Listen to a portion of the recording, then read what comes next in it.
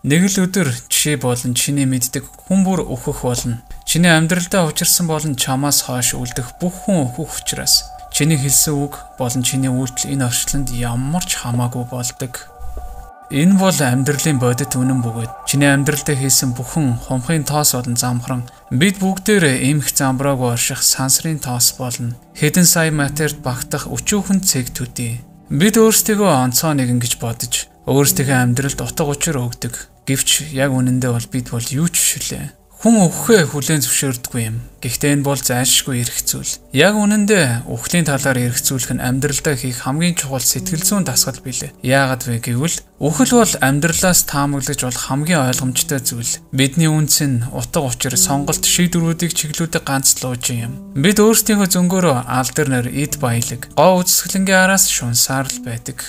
Эдгээр зүйлс нь бидний амьдралд утга учираа бага өгдөгч маш их стресс асуудал үүсгдэг. Өөрсдийнхөө өхлийг хүлээн зөвшөөрөх үед бид ач холбогдол өгөхөстэй чухал зүйлсээ орхигдуулаад үн цэнгүй хоосон зүйлсийн араас хөөцөлдсөөр л байдаг. Чарльз Буковски хэлэхдээ бид бүгдээрээ нэг өдөр өөхөх болно. Ямар гэчин цэркийн үзүүлбэр бэ? Нэгнээ хайрлах хангалттай том шалтгаан гэвч хүмүүс тэгдэггүй. Амьдралын улиг болсон хэрэггүй зүйлсээр өөрсдийгөө дарангууллаад эцэст нь юу чгүй хумхын тоос болдог юм. Өвхөл бидэнд амьдралын аар сар шалахгүй зүйлсийг мартахыг сануулдаг. Биднээс илүү агуу том тэр утга учир ойршихуйг үн цэнэ болохыг хэлж өгдөг. Учир нь энэ бол цаг хугацаанаас үл хамаарах аз жаргал юм. Та Күнз, Аристотл, Харвардын сэтгэл зүйч эсвэл Есүс хэрэлд эсвэл Диснейн гүнжийн сургаалыг сонсдог байхаас үл хамааран тэд бүгд нэг л зүйлийг ойлгуулахыг хичээдэг. Аз жаргал гэдэг өөрөөсөө илүү агуу зүйлсийг анхаарч хайрлахад оршдог юм. Энэ л шалтгааны улмаас бид сүмд явдаг. Үүнээс болж дайн дайжин гардаг.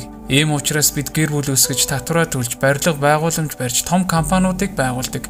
Нүдэнд үл үзэгдэх бидний мэдэхгүй тэр эрчим хүч, энерги, сансрын оршихуй эцэст нь өхөл бидэнд ардаа юу үлдээх вэ гэсэн ганц л асуултыг үлдээн. Гэвч ихэнх хүмүүс хэрхэн сайхан амьдрах тухай л боддог. Харин чухал асуулт бол бид ардаа яг юуг үлдээх вэ? Та ойлгодогч бай үгүй ч бай. Та бол гайхамшигтай. Таны үнцнийг хүмүүс мэддэгч бай үгүй ч бай. iPhone зориулсан шинэ аппликейшн бүтээсэн ч бай үгүй ч бай. Сургуулийн онц дундтай төгссөн ч бай үгүй ч бай. Эсвэл өөртөө зориулж даруулт цай хөдөлж авсан эсэх нь хамаагүй. Эдгээр зүйлс бидний үнцнийг тодорхойлохгүй юм. Өгөх нь тодорхойч эмх замбраагүй энэ амьдрал. Та бол үнцэнтэй хүн. Өлсөн амьдралаа юунд ач холбогдол өгч юунд өгөхгүй вэ гэдгээ сонгох хэрэгтэй. Өөрийгөө орчлон ертөнцид цор ганц өөрийнхөө хувилбар болж хүмүүн заяаг олж төрсөн үнэн чинь таныг угаасаа баян болгож байгаа. Таныг угаасаа амжилттай хүн болгож байгаа. Та аль хэдийн хайрлагдсан хүн болж байгаа юм. Та өөрийнхөө үн цэнийг мэдэж байгаа үгээс үл хамаа. Танд амьдрал хэмээх гайхамшигтай боломж олдсон учраас өхөл таны амьдралыг үн цэнтэй болгож байгаа юм. Хэдийгээр та ертөнцид хумхын тоос шиг өчүүхэн цэгч гисэн таны оршин байгаа оршихуй сансар огторгуйт цуурайтдаг.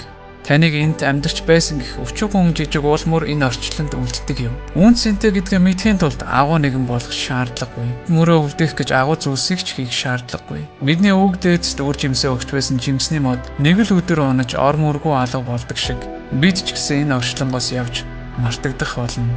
Гэсэн ч амьдрал өөр нэгэн хэлбэрээ олон шилжиж шинэ амьдрал эхэлдэг юм. Тиймээс төрж гисэн амс хийгээд зүрхчин зохилж байгаа тэр амьдрал хэмээх оршууд талархлаа илэрхийлж ай кофега тухтай гихчин нэмгээрэй.